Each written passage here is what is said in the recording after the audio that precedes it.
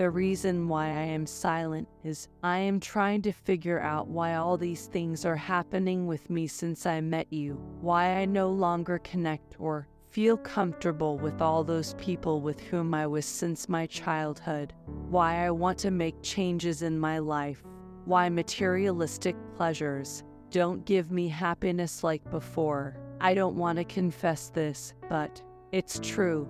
You remind me about what I need to do in order to confront my life issues so that I get to know my masculine role. I really find you so gentle and dependable women. The way you express your spiritual wisdom with full of confidence. It shows how honest and trustworthy you are the way you nurture me with your love and affection. I feel so pure and satisfied from within. I have held on to a lot that you said. I really enjoy and love talking with you. The most fascinating thing about you is that you share only those things which you feel is right for the moment.